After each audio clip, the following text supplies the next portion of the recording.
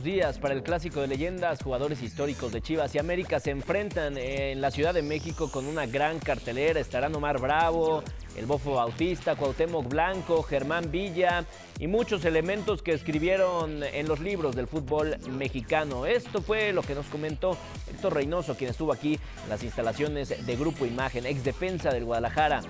Vamos a escuchar. Me pone muy contento, eh, es volver a sentir, vivir muchas emociones que me tocó de, jugador activo.